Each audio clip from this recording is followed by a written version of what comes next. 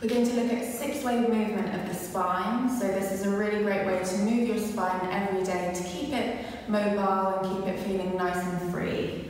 So we'll start on all fours, wrists beneath elbows and shoulders, knees beneath hips, and just take a moment there to feel nice and strong in that position.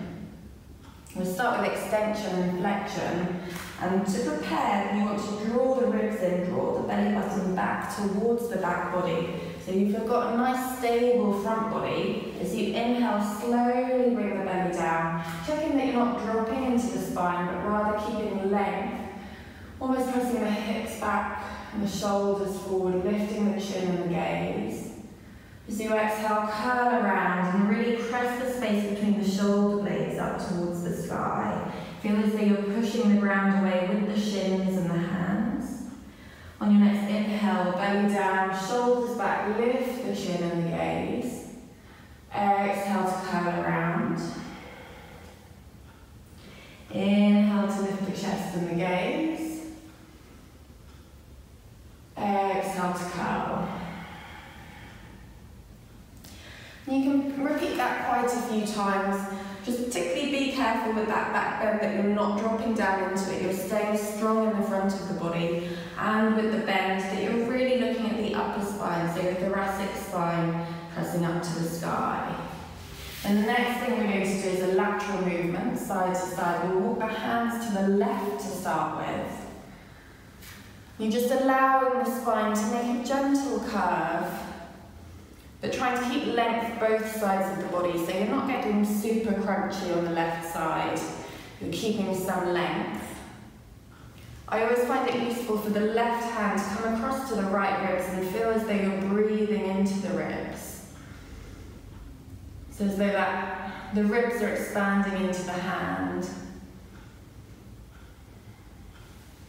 And then slowly through centre. And exhale to the other And same again on this side. Maybe the hand reaches across and you really feel as though you're expanding into that hand.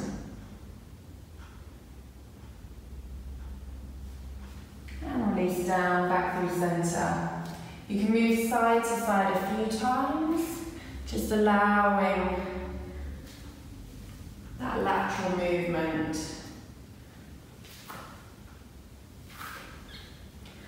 And then it might almost also feel good to allow the hips to hang back. And maybe even rest the forehead down to a child's pose. Again, just allowing the right side of the body to lengthen. Inhale to lift up. Exhale from centre over to the right. And again, hang back, allow the left hand side of the body to lengthen.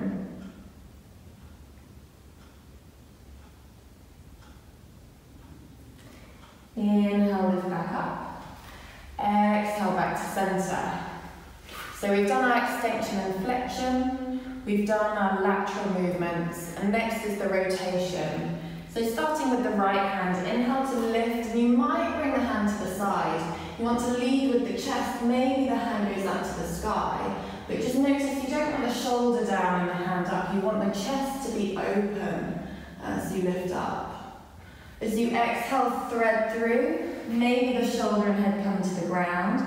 But if they don't find it comfortably, you can always stay a bit lifted. Retrace your steps. Inhale to lift up. Exhale to thread under. Inhale to lift. Exhale to thread and hold down.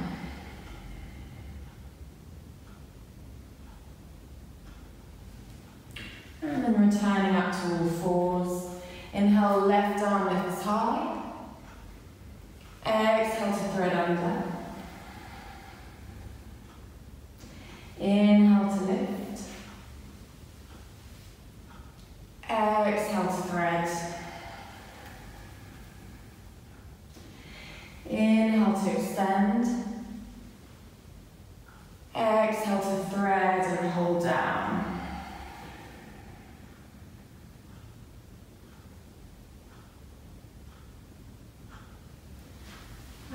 to all fours.